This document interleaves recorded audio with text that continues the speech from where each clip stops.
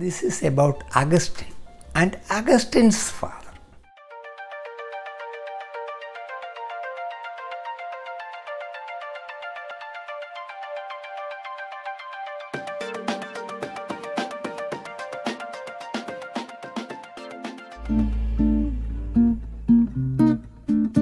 Augustine was also a friend of mine, graduated from Bangalore Medical College, coming from Kerala at All India Institute of Medical Science.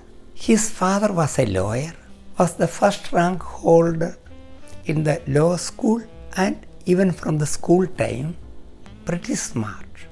However, he was very poor. Being a lawyer at that time, remaining poor means there is some major defect in him. Augustine told me what the problem with his dad was. He will not lie. And being a lawyer and not lying is like, like fire and water, not consistent with each other. Which means he did not have a lot of cases and did not make money.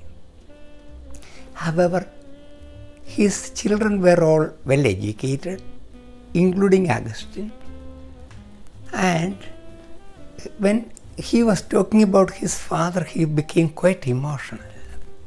One day, when the father was coming home late in the night, he saw a beggar um, sitting at the corner, turning to their house. And father looked at the beggar and thought he must be very hungry. Very most probably he was right. And they the family of Augustine already ate their dinner.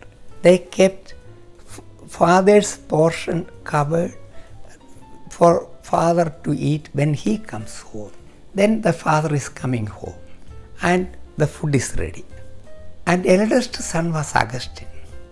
Father told Augustine, Augustine, I want you to take this food to a guy at the corner turning to our house and he's a beggar under a tree. I want you to take this food to him. Augustine didn't like it at all.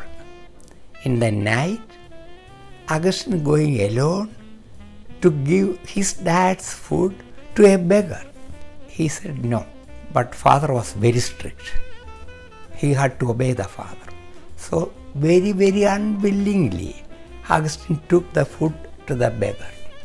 That happened long ago. Augustine knew, and his father knew, the father is not going to die of starvation by not eating one dinner. But father recognized that beggar may die. Possibly not. That lesson Augustine was telling me when we were in New Delhi. Now, Augustine is telling me that is the lesson, that is the most important inheritance Augustine received from his father.